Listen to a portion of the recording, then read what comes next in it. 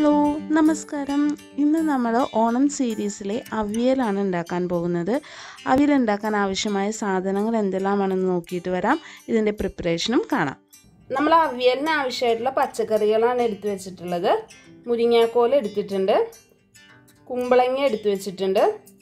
കോവയ്ക്ക എടുത്തിട്ടുണ്ട്. ക്യാരറ്റ് നുറുക്കി വെച്ചിട്ടുണ്ട്. പടവലങ്ങ ഉരുളക്കിഴങ്ങ് വഴുതനങ്ങ. ഇതെല്ലാം ഞാനൊരു അൻപത് ഗ്രാം വീതമാണ് എടുത്തിരിക്കുന്നത്. ഒരേ തുല്യ അളവിലാണ് എല്ലാം എടുത്തിട്ടുള്ളത്.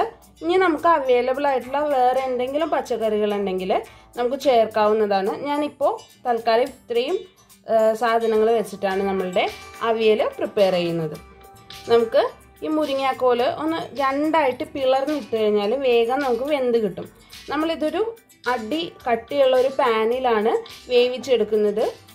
കാരണം കുക്കറിൽ ഇട്ട് കഴിഞ്ഞാൽ പലതിനും പല അളവാണ് വേവ്. പോരാത്തതിന് കുമ്പളങ്ങയൊക്കെ വല്ലാതെ വെന്ത് ഉടഞ്ഞു പോകും. അപ്പോൾ അത് ഒഴിവാക്കാൻ വേണ്ടിയിട്ട് നമ്മൾ അടി കട്ടിയുള്ള ഒരു പാത്രത്തിലിട്ടാണ് വേവിച്ചെടുക്കുന്നത്. അവിയലിലേക്കുള്ള അരപ്പിന് വേണ്ടിയിട്ട് ഞാൻ തേങ്ങ ഒരു മൂന്ന് നാല് വലിയ ടേബിൾ സ്പൂൺ തേങ്ങ എടുത്തിട്ടുണ്ട്. എരിവിന് ആവശ്യമായ പച്ചമുളക് എടുത്തിട്ടുണ്ട്. നല്ല ജീരകം എടുത്തിട്ടുണ്ട്. ചെറിയുള്ളി വൃത്തിയാക്കി എടുത്തിട്ടുണ്ട്. നമുക്ക് കുറച്ച് കറിവേപ്പില വേണം. പിന്നെ നല്ല പച്ച വെളിച്ചെണ്ണയും വേണം. ഇത്രയും സാധനങ്ങളെ നമുക്ക് അവിയലിന് ആവശ്യമുള്ളൂ. ഇനി നമുക്ക് അവിയലിന്റെ പ്രിപ്പറേഷൻ കണ്ടിട്ട് വരാം. നമ്മുടെ പാൻ നന്നായിട്ട് ചൂടായി വന്നിട്ടുണ്ട്. നമുക്ക് അവിയലിന്റെ കഷ്ണങ്ങൾ ചേർത്ത് കൊടുക്കാം. ഞാൻ ആദ്യം തന്നെ നമ്മുടെ മുരിങ്ങാക്കോൽ ചേർത്ത് കൊടുത്തു. ക്യാരറ്റ് ചേർത്ത് കൊടുക്കാം.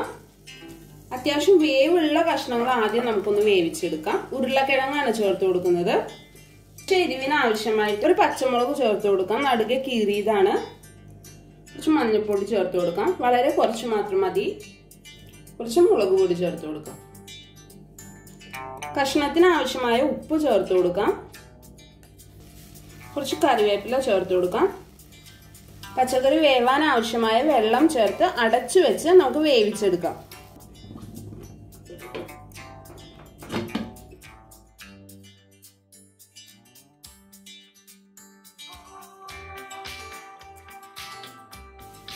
അപ്പൊ ഇതുവരെ ചേർത്തിട്ടുള്ള കഷ്ണങ്ങളൊക്കെ ഒരുവിധം വെന്ത് വന്നിട്ടുണ്ട്. നമുക്ക് ബാക്കി കഷ്ണങ്ങളും കൂടി ചേർത്തിട്ടൊന്ന് വേവിച്ചെടുക്കാം. അതിന് വേണ്ടിയിട്ട് കുമ്പളങ്ങ ചേർക്കുന്നുണ്ട് കോവയ്ക്ക ചേർക്കുന്നുണ്ട് പടവലങ്ങ ചേർക്കുന്നുണ്ട് വഴുതനങ്ങയും ചേർത്ത് കൊടുക്കുന്നുണ്ട്. ആവശ്യമായ വെള്ളം ചേർത്ത് ഒന്ന് വേവിച്ചെടുക്കാം.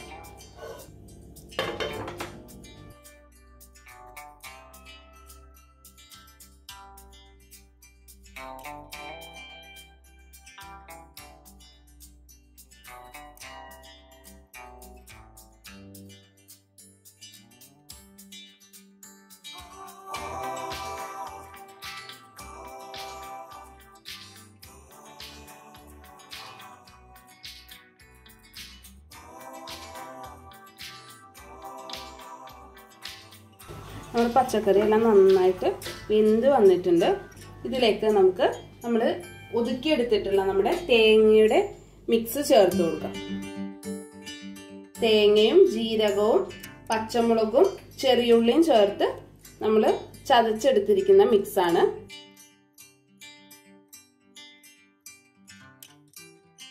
അവിയലിന് പുളിക്ക് ആവശ്യമായ അളവിൽ നമുക്ക് തൈര് ചേർത്ത് കൊടുക്കാം. അധികം പുളിയില്ലാത്ത തൈരാണ്.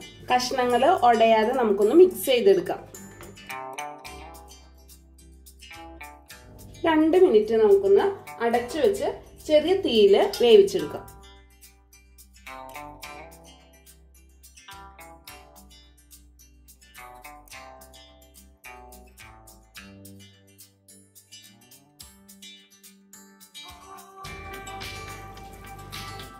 നമ്മൾ ചേർത്ത് കൊടുത്ത തേങ്ങയുടെ അരപ്പും തൈരും എല്ലാം ഒന്ന് വെന്ത് കിട്ടിയിട്ടുണ്ട്. ഇനി നമുക്ക് ഇതിലേക്ക് കുറച്ച് പച്ച വെളിച്ചെണ്ണ ചേർത്ത് കൊടുക്കാം.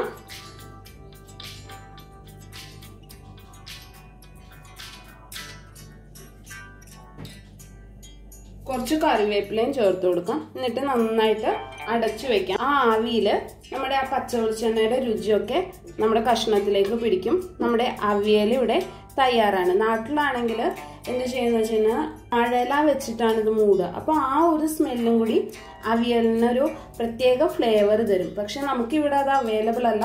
അപ്പോൾ നമ്മളിങ്ങനെ ഒരു അതിന് ചേരുന്നൊരു അടപ്പ് വെച്ചിട്ട് അടച്ചു വെച്ച് ഒരു പത്ത് മിനിറ്റ് അല്ലെങ്കിൽ അതിന്റെ ഒരു ആവി അതിലിരിക്കാൻ പാകത്തിന് നമ്മൾ വെയിറ്റ് ചെയ്യും. അപ്പോൾ ഇതാണ് നമ്മുടെ അവിയലിന്റെ വളരെ സിമ്പിളായിട്ട് ചെയ്യാൻ പറ്റുന്ന ഒരു അവിയൽ റെസിപ്പിയാണിത്. എല്ലാവരും ട്രൈ ചെയ്ത് നോക്കുക. നമുക്ക് അടുത്തൊരു വീഡിയോയിൽ കാണാം. അതുവരേക്കും ബൈ ബൈ.